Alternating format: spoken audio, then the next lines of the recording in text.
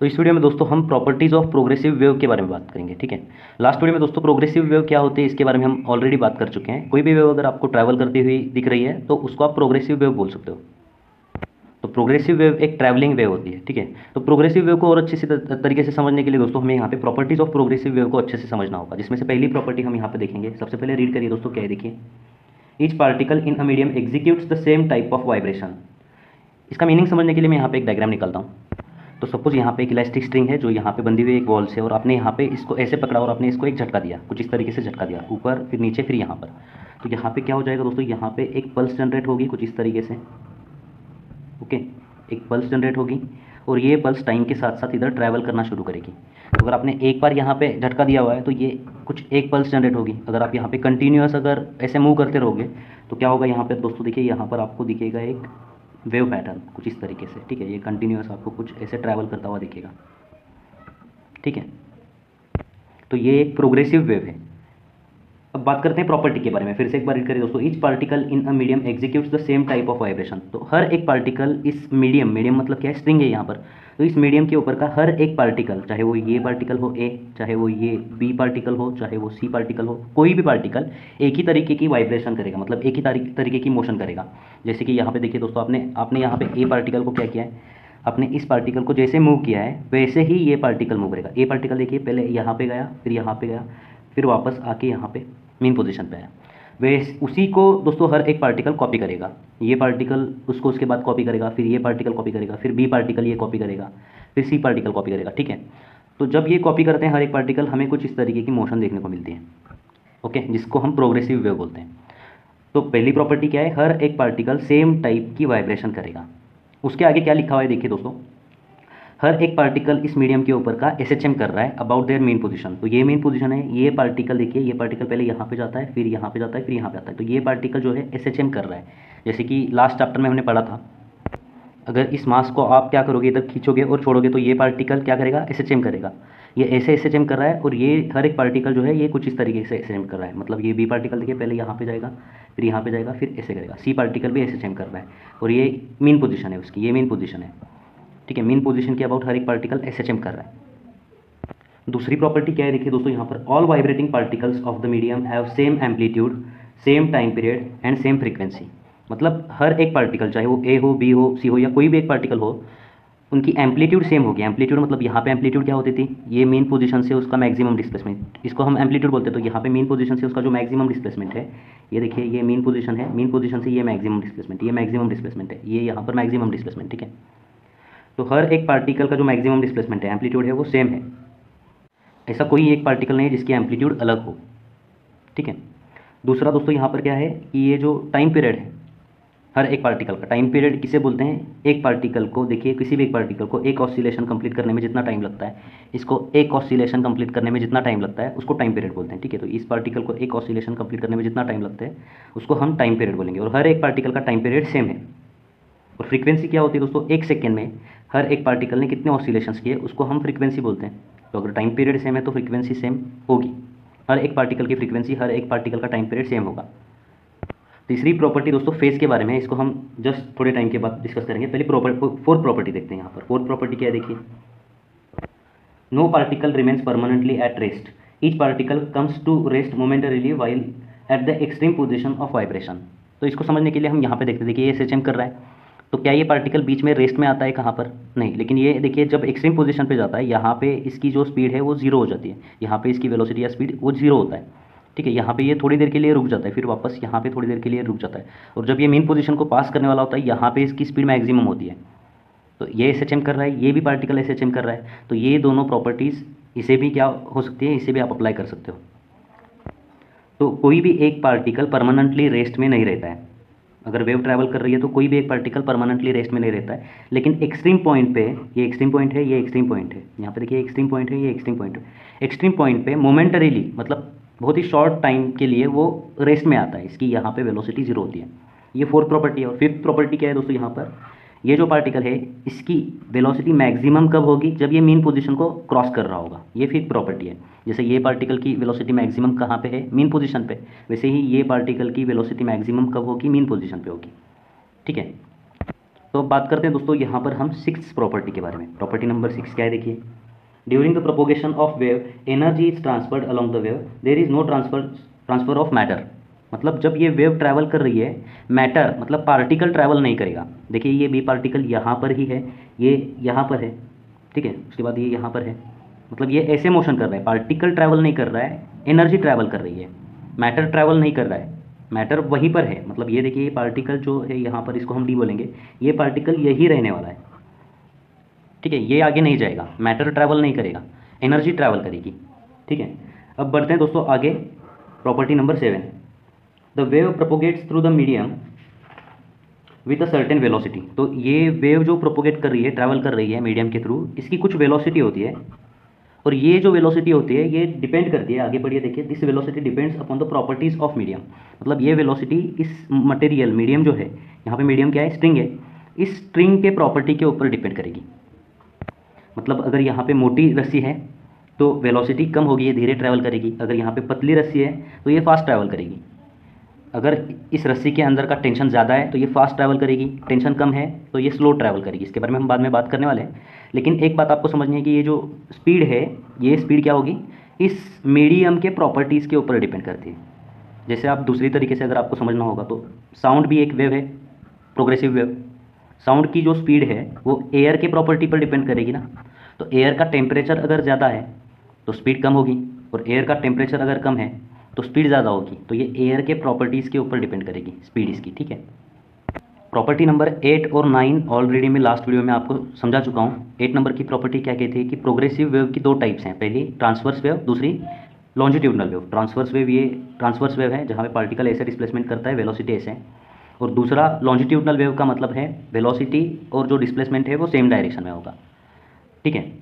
और ninth number की जो प्रॉपर्टी है, वो बताती है कि ट्रांसवर्स वेव वेव क्या होती है? लॉन्जिट्यूडनल वेव क्या होती है? इसको हम लास्ट वीडियो में देख चुके हैं। अब बात करते हैं दोस्तों यहाँ पे प्रॉपर्टी नंबर टेन के बारे में। टेन नंबर की प्रॉपर्टी क्या कहती है? देखिए। तो टेंथ नंबर की प्रॉपर्टी कहती है ट्रांसवर्स वेव जो है मतलब वेव इन स्ट्रिंग ये सिर्फ़ सॉलिड के अंदर से ट्रैवल कर सकती है। Can propagate through solid only ये लिक्विड और गैसेस के अंदर से ट्रैवल नहीं कर सकती। और लॉन्जिट्यूडनल वेव मतलब साउंड साउंड जो होती है दोस्तों, ये सॉलिड के अंदर से भी ट्रैवल करती है और फ्लूइड मतलब लिक्विड और गैसेस के अंदर से भी ट्रैवल कर सकती है। पानी के अंदर से गैसेस के अंदर से सॉलिड के दीवार के अंदर से साउंड ट्रैवल कर सकता है। लेकिन ट्रांसवर्स वेव सिर्फ़ सॉलिड के अंदर से ट्रैवल करता है। ठीक है? तो यहाँ पे एक डाउट आ सकता है आपको कि एक लिक्विड है और इस लिक्विड के अंदर आपने ड्रॉप किया एक पत्थर सपोज़ तो यहाँ पे क्या होता है? यहाँ पे एक वेव जनरेट होती है। तो आप बोलोगे कि ये तो ट्रांसवर्स वेव है। ये तो ट्रांसवर्स वेव है। हाँ सही है, ये देखिए पार्टिकल कुछ इस तरीके से डिस्प्लेसमेंट कर रहा है। तो ये ट्रांसवर्स वेव है हंड्रेड परसेंट ट्रांसवर्स वेव है। लेकिन ये लिक्विड के अंदर से ट्रैवल नहीं कर रही है लिक्विड के सरफेस के ऊपर ट्रैवल कर रही है। जैसे कि आपको पता है दोस्तों लिक्विड का जो सरफेस होता है सरफेस टेंशन आपने पढ़ा है तो लिक्विड का सरफेस जो है, ये अंडर टेंशन होता है, ये टेंशन कुछ इस तरीके से होता है। ठीक है तो यहाँ पे ये स्ट्रिंग भी टेंशन में होती है। अगर टेंशन में होगी तो वेव ट्रैवल करेगी। वैसे ही ये लिक्विड सरफेस अगर टेंशन में होगा तो यहाँ पे ये वेव ट्रैवल करेगी और लिक्विड का सरफेस हमेशा टेंशन में होता है ड्यू टू सरफेस टेंशन ठीक है? तो transverse wave can propagate on the liquid surface but it can not propagate through the liquids ठीक है? ये आपको समझाना था। अब बढ़ते आगे दोस्तों। बात करते हैं प्रॉपर्टी नंबर थ्री के बारे में। थ्री नंबर की प्रॉपर्टी क्या कह रही है? देखिए आपको the phase changes from one particle to another particle phase क्या होता है दोस्तों? ये फ़ेज़ होता है स्टेट ऑफ़ ऑसिलेशन फ़ेज़ होता है स्टेट ऑफ़ ऑसिलेशन या स्टेट ऑफ़ वाइब्रेशन किस स्टेट में है वाइब्रेशन के? पार्टिकल उसको फ़ेज़ बोला जाता है ठीक है? तो यहाँ पे देखिए ये पार्टिकल ऊपर जाने वाला है अब और यहाँ का पार्टिकल क्या हो, होगा? नीचे जाने वाला है। तो ये तो यहाँ पे देखिए वेव के ऊपर के हर एक पार्टिकल का फेस अलग अलग है। ठीक है? देखिए ये पार्टिकल ऊपर जा रहा है ये पार्टिकल नीचे आ रहा है। तो इनका स्टेट ऑफ़ ऑसिलेशन अलग अलग है। ये पार्टिकल देखिए ये ऊपर जाने वाला है ये नीचे आ रहा है। ठीक है? तो इनका फ़ेज़ अलग अलग है। किन दो पार्टिकल्स का फ़ेज़ सेम है आप बोल सकते हो? देखिए, ये पार्टिकल और ये पार्टिकल ये ये पार्टिकल भी अब नीचे आने वाला है, ये पार्टिकल भी अब नीचे आने वाला है। मतलब ये पार्टिकल एक जैसे ही वाइब्रेट करेंगे मतलब ये सेम स्टेट में होंगे तो इनका फ़ेज़ सेम है, हम बोल सकते हैं। ठीक है? ये पार्टिकल ऊपर जा रहा है, ये पार्टिकल ऊपर जाने वाला है। अब तो ये दो पार्टिकल सेम स्टेट में है, हम ऐसे बोल सकते हैं। ठीक है? यहाँ पे अगर देखोगे तो ये पार्टिकल और ये पार्टिकल ये दोनों भी सेम स्टेट में हैं। लेकिन यहाँ के सब पार्टिकल्स जो है, वो अलग अलग स्टेट में होंगे। ठीक है? ये आपको बताना चाहती है प्रॉपर्टी नंबर थ्री अब हमें यहाँ पे दोस्तों एक दो डेफिनेशन देखने हैं ताकि हम अगला पार्ट समझ सकें। जिसमें से पहली डेफिनेशन है वेवलेंथ क्या होती है? वेवलेंथ को समझने के लिए आपको टाइम पीरियड पता होना ज़रूरी है। टाइम पीरियड क्या होता है दोस्तों? कोई भी एक पार्टिकल हो, कोई भी एक पार्टिकल हम यहाँ पे देखते हैं, ये पार्टिकल इस पार्टिकल को एक ऑसिलेशन कंप्लीट करने में जितना टाइम लगता है, उसको हम टाइम पीरियड बोलते हैं। ठीक है? तो जब आपने इसको यहाँ पे होल्ड किया और एक बार आपने इसको ऐसे ऑसिलेट किया तो आपको यहाँ पे क्या दिखेगा? देखिए दोस्तों, आपको यहाँ पे दिखेगी एक पल्स कुछ इस तरीके से आपको एक पल्स दिखेगी यहाँ पर। ओके ठीक है? तो आपने एक बार इसको ऐसे मूव किया तो आपको एक पल्स दिखेगी। दो बार मूव किया तो क्या होगा? आपको दूसरी पल्स दिखेगी यहाँ पर। ये पल्स आगे चली जाएगी, यहाँ पे दूसरी पल्स जनरेट होगी। ठीक है? तीन बार अगर आपने ऐसे मूव किया तो यहाँ पे आपको तीन पल्सेस दिखेंगे। ओके तो वेवलेंथ लैमडा लीटर से दिखाया जाता है दोस्तों, ये वेवलेंथ होता क्या है? सबसे पहले हम देखते हैं उसकी definition so it is distance travel by wave in one time period देखिए, आपने यहाँ पे एक बार पकड़ा इसको ऐसे और एक बार झटका दिया, ठीक है? तो वेव ने कितना डिस्टेंस ट्रैवल किया? वेव ने इतना डिस्टेंस ट्रैवल किया। मतलब आपने एक बार ऑसिलेट किया मतलब एक टाइम पीरियड हुआ है। तो एक टाइम पीरियड में वेव ने इतना डिस्टेंस ट्रैवल किया। आपने दो बार इसको ऑसिलेट किया मतलब दो टाइम पीरियड में वेव ने इतना डिस्टेंस ट्रैवल किया, यहाँ से यहाँ तक, ठीक है? तो एक टाइम पीरियड में वेव ने जितना डिस्टेंस ट्रैवल किया है, इतना डिस्टेंस ट्रैवल किया ना तो इस डिस्टेंस को दोस्तों वेवलेंथ बोला जाता है। तो ये तो एक डेफिनेशन हुई, दूसरी डेफिनेशन आप लिख सकते हो जो आपके टेक्स्ट बुक में दी हुई है। So it is distance between two particles which are in the same phase ठीक है? तो वेवलेंथ क्या होता है? ऐसे दो, यहाँ पे देखिए टू कंजिक्यूटिव पार्टिकल्स बोलना चाहिए था। टू कॉन्जिक्यूटिव मतलब पास पास के जो दो पार्टिकल्स हैं, जो सेम स्टेट में सेम फ़ेज़ में है। ठीक है? तो यहाँ पे देखिए, कौन से दो पार्टिकल्स सेम फ़ेज़ में है? जैसे कि ये पार्टिकल और आप बोल सकते हो यहाँ पे ये पार्टिकल ये दो पार्टिकल्स जो पास पास के हैं, ये सेम फ़ेज़ में हैं, ये सेम तरीके से मोशन करेंगे। ये पार्टिकल और ये पार्टिकल ये दोनों भी पार्टिकल अब नीचे आने वाले हैं तो ये सेम स्टेट में तो इन दोनों के बीच का जो डिस्टेंस है, इसको आप वेवलेंथ बोल सकते हो। So it is distance between two consecutive particles which are in the same phase यहाँ पर देखिए, ये पार्टिकल और ये particle same state of oscillation में होगा सेम स्टेट ऑफ़ वाइब्रेशन में होगा। तो इन दोनों के बीच का जो डिस्टेंस है, उसको आप बोल सकते हो वेवलेंथ अब दोस्तों, एक और कंसेप्ट हमें यहाँ पे पढ़ना है, जिसका नाम है वेव वेलोसिटी वेव वेलोसिटी ठीक है? वी तो किसी भी चीज़ की वेलोसिटी निकालनी तो वेलोसिटी का फॉर्मूला क्या होता है? It is displacement divided by time ठीक है? तो अगर हम यहाँ पे टाइम कंसिडर करेंगे दोस्तों time period one time period अगर हम यहाँ पे टाइम कंसिडर करते हैं तो नीचे तो होगा, देखिए वी इज़ इक्वल टू क्या मिलेगा आपको? नीचे तो मिलेगा यहाँ पे आपको टाइम पीरियड टी लेकिन एक टाइम पीरियड में वेव ने कितना डिस्प्लेसमेंट किया है? लैमडा सो डिस्प्लेसमेंट लैमडा हुआ है टाइम कितना है? T so V is equal to lambda upon T but हमें दोस्तों टाइम पीरियड और फ्रीक्वेंसी के बीच का रिलेशन पता है। So time period is equal to one by frequency आपको पता है। तो फ्रीक्वेंसी क्या होगी? It will be equal to one by time period तो यहाँ पे वन बाय टाइम पीरियड की जगह अगर आपने यहाँ पे देखिए फ्रीक्वेंसी पुट किया तो वी इज़ इक्वल टू क्या मिलेगा आपको? वी इज़ इक्वल टू मिलेगा आपको यहाँ पे एन लैमडा तो वी निकालने का तरीका अगर आपको टाइम पीरियड पता है तो ये फॉर्मूला यूज़ कीजिए। अगर आपको यहाँ पे फ्रीक्वेंसी पता है तो आप ये फॉर्मूला यूज़ कर सकते हो।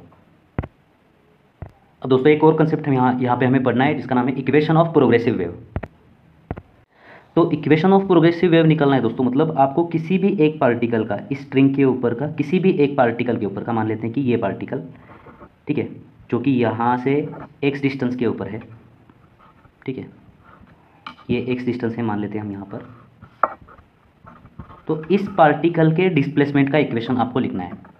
ठीक है? उसी को हम बोलेंगे इक्वेशन ऑफ़ प्रोग्रेसिव वेव तो दोस्तों एसएचएम में हमने देखा था तो कोई भी एक पार्टिकल है जो, देखिए एसएचएम कर रहा है ऐसे। तो इसके डिस्प्लेसमेंट का इक्वेशन हम कैसे लिखते थे? X is equal to A sine omega T अगर इसने मीन पोजीशन से अपनी मोशन को स्टार्ट किया तो हम ऐसे लिखते थे। ठीक है? तो इसका डिस्प्लेसमेंट एक्स के अलॉन्ग है, इसीलिए हमने एक्स टर्म यूज़ की थी। लेकिन यहाँ पे जो पार्टिकल है, मान लेते हैं, आपने क्या किया है? इसको ऐसे मूव किया है। ठीक है? तो ये पार्टिकल कैसे मूव कर रहा है? ये पार्टिकल ऐसे ऐसे चेंज कर रहा है। तो इस पार्टिकल के डिस्प्लेसमेंट का इक्वेशन क्या होगा? ये इसी तरीके से होगा। क्या होगा दोस्तों? ये y इज़ इक्वल टू यहाँ पे ऐसे मूव हो रहा है, इसलिए x यूज़ किया है। यहाँ पे ऐसे मूव हो रहा है, इसलिए y यूज़ किया। तो y is equal to A sine omega T होगा। ठीक है? ए क्या होता है? मैक्सिमम एम्पलीट्यूड यहाँ पे ये होगी। ओमेगा क्या होता है? एंगुलर फ्रिक्वेंसी ये निकालने का तरीका क्या है? Two pi divided by T है। ओके? और टी मतलब किस टाइम पे आपको निकालना है डिस्प्लेसमेंट वो टाइम को आपके आपको यहाँ पे पुट करना है, ठीक है?